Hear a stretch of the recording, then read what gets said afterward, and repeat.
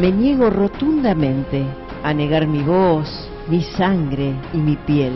Y me niego rotundamente a dejar de ser yo, a dejar de sentirme bien cuando miro mi rostro en el espejo, con mi boca rotundamente grande y mi nariz rotundamente hermosa, mis dientes rotundamente blancos y mi piel valientemente negra.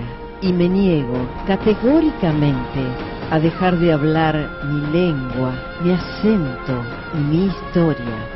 Y me niego absolutamente a ser parte de los que callan, de los que temen, de los que lloran, porque me acepto rotundamente libre, rotundamente negra, rotundamente hermosa.